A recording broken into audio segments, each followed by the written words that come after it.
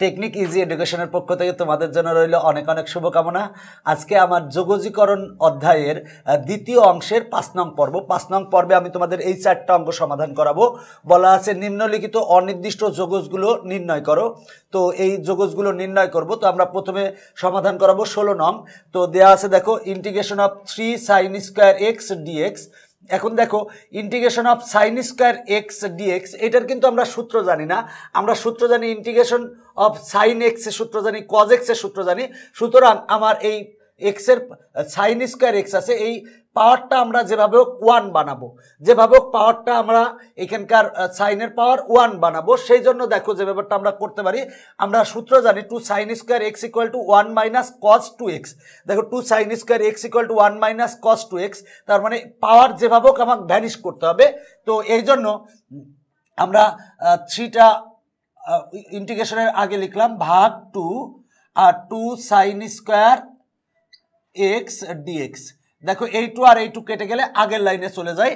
এখন দেখো আমরা সূত্র পাই, সেটা হলো যে টু সাইন স্কোয়ার এক্স দেখো টু সাইন স্কোয়ার এক্সের সূত্র হচ্ছে one minus cos two x আর এখানে আছে হচ্ছে ডিএক্স দেখো আমরা সূত্র বসিয়েছি টু সাইন স্কোয়ার এক্স আমরা জানি টু সাইন স্কোয়ার এক্সের সূত্র হচ্ছে one minus cos two x এখন দেখো যে ব্যাপারটা, আমার এখানে কিন্তু কজ কজ টু এক্সের পাওয়ার কিন্তু ওয়ান আমরা পাওয়ার ওয়ান হলে সূত্র জানি। সুতরাং এখন দেখো যে ব্যাপারটা, সেটা হলো থ্রি বাই টু দেখো ইন্টিগ্রেশন অফ ওয়ান ডিএক্স আমরা সূত্র জানি ইন্টিগ্রেশন অফ ওয়ান ডিএক্স সমান হচ্ছে এক্স তাহলে ইন্টিগ্রেশন অফ ওয়ান ডিএক্স সমান হচ্ছে এক্স আর মাইনাস দেখো integration of cos x dx আমরা জানি integration of cos x dx এর সূত্র হচ্ছে সাইন এক্স সাইন এক্সের স্থলে আছে টু এক্স মনে রাখবা এক্সের যে সহগ থাকে এটা যদি এমনি এক্স হতো তাহলে আর ঝামেলা ছিল না।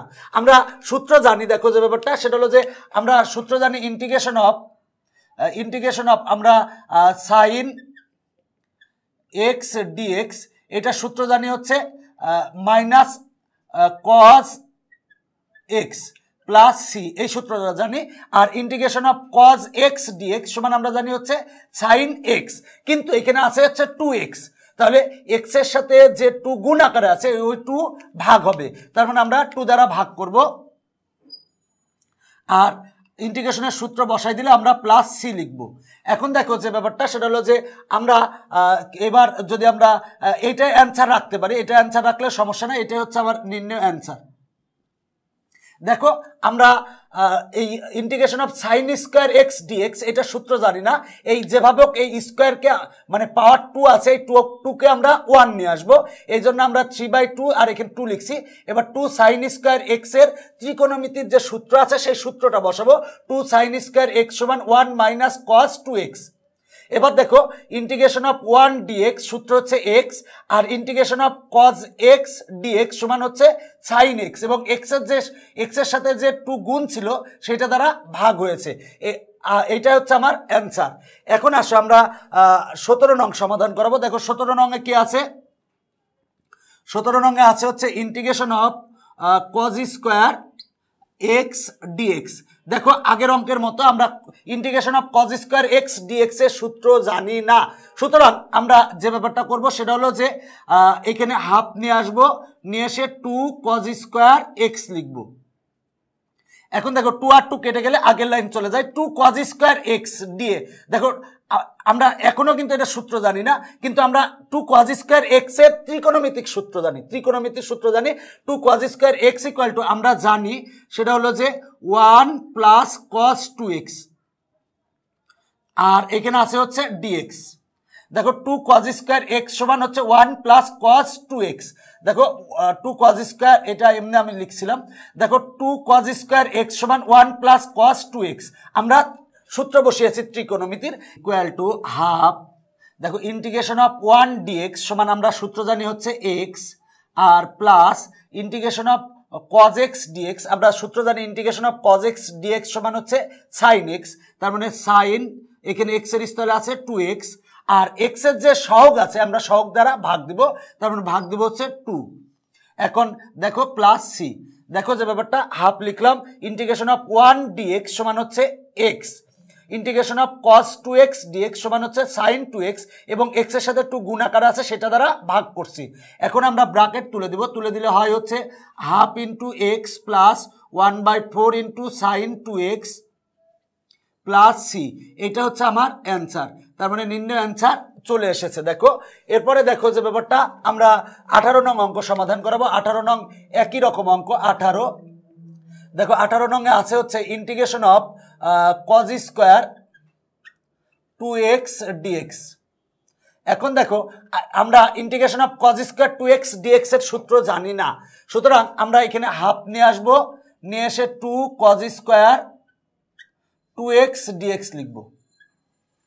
এখন দেখো আমরা সূত্র জানি two cos square x equal to one plus cos two x তাহলে two cos square two x equal to কত হবে? One plus cos two into two x মানে কজ ফোর এক্স হবে।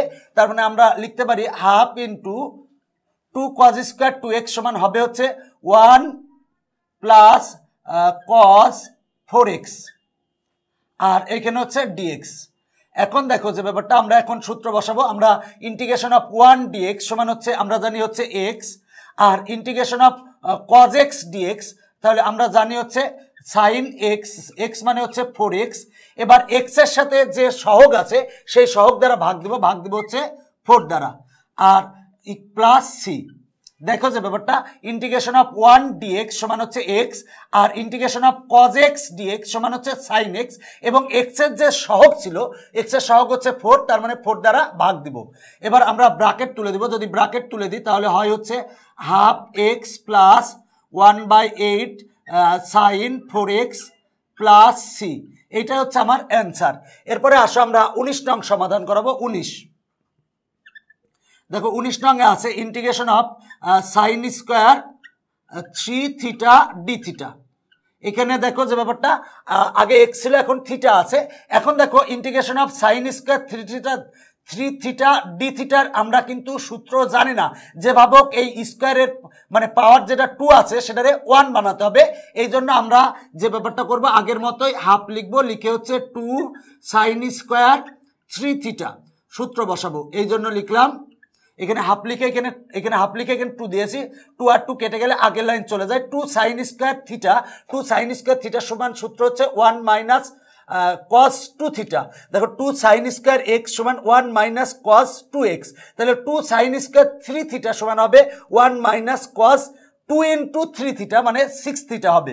মানে এখানে যখন এক্স তখন এখানে টু এক্স এখানে যখন টু এক্স তখন হবে এখানে ফোর এক্স এখানে যদি থ্রি এক্স হয়, এখানে হবে সিক্স এক্স তার মানে আমার হবে half two sine square three theta সমান হবে হচ্ছে ওয়ান প্লাস দেখো sorry one minus one minus one minus cos six theta আর ডি থিটা এখন আমরা সূত্র বসাতে পারি। তাহলে সূত্র বসাতে পারলে আমরা লিখতে পারি half integration of one d theta সমান সূত্র হচ্ছে theta R minus integration of cos theta d theta সমান হচ্ছে সাইন থিটা। থিটা মানে হচ্ছে সিক্স থিটা। আর থিটার সাথে যে সিক্স গুণ আকারে আছে সেটা আমরা ভাগ দিব। আর প্লাস সি।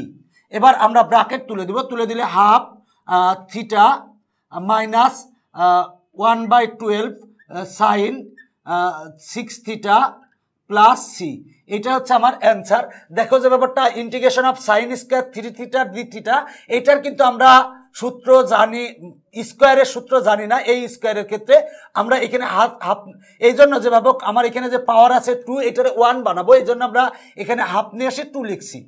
তাহলে টু সাইন স্কোয়ার থ্রি থিটার আমরা ত্রিকোণমিতির সূত্র, ত্রিকোণমিতিক সূত্র জানি। টু সাইন স্কোয়ার থিটার সূত্র হচ্ছে one minus cos two theta তাহলে টু সাইন স্কোয়ার থ্রি থিটার সূত্র হচ্ছে one minus cos six theta এবার দেখো আমরা ইন্টিগ্রেশনের সূত্র বসাতে পারি। Integration of one d theta সমান হচ্ছে থিটা এই minus integration of cos theta d theta সমান হচ্ছে সাইন থিটা এবং থিটার সাথে যে সহগ আছে মানে গুণ আকারে আছে হচ্ছে সিক্স সিক্স দ্বারা ভাগ হয়েছে প্লাস সি এবার ব্রাকেট তুলে দাও, তুলে দিলেই তোমরা অ্যান্সার পেয়ে যাবে। আশা করি তোমরা অঙ্কগুলো সুন্দর করে বুঝতে পেরেছ। আর দেখো, আমি কিন্তু প্রতিটা অঙ্ক ধরে ধরে করে দিচ্ছি। শুধুমাত্র যে কোনো একটা বইয়ের, নির্দিষ্ট বইয়ের না, আমি সবগুলো অঙ্ক, বইয়ের, সবগুলো বইয়ের অঙ্ক মিলাই, মিলিয়ে আমি একটা নিজের সিরিয়াল করছি সিরিয়াল অনুসারে প্রতিটা অঙ্ক তোমাদের সমাধান করে দিচ্ছি তোমাদের উপকারের জন্য। আশা করি তোমাদের উপকারে আসবে এবং যে ব্যাপারটা, এই যে আমি বোর্ডে করছি, এইটারই হাতে লেখা শিট যদি তুমি পেতে চাও, সেক্ষেত্রে আমার ভিডিওর নিচে যে লিঙ্ক আছে লিঙ্কে ক্লিক করলেই তুমি এটা শিট আকারে পাবে, সেটা প্রিন্ট করে নিয়ে তোমার কাছে রেখে দিতে পারো। তো আজকে পর্ব এখানেই শেষ করছি, সবাই ভালো থাকবা।